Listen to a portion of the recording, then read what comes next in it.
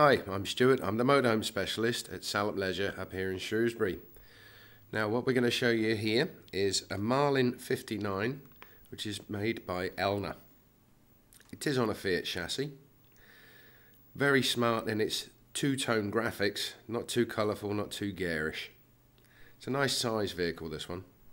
As you can see on the back we have a ladder which take you up to the roof and a bike rack for three bikes. On the driver's side is the canopy all fitted, ready to go. Coming into the vehicle, this is what we call a rear kitchen layout. As you can see, we've got a full-size three-way fridge, which runs on gas, 12 volt and 240 volt.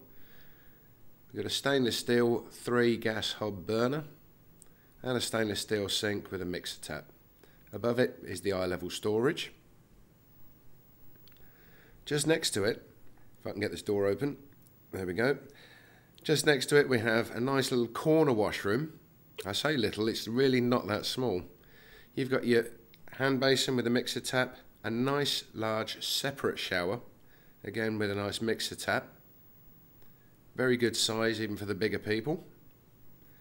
Shower curtain, again eye level storage, and your toilet which is electric flush.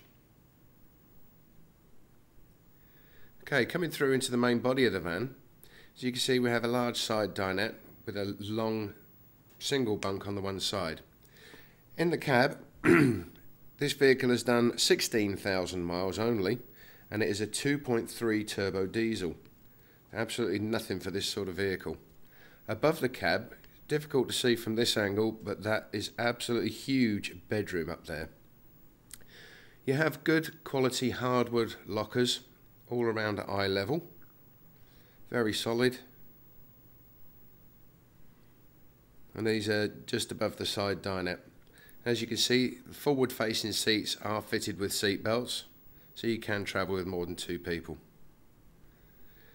Coming out of the vehicle you can see it's a very nice family van at a very very reasonable price.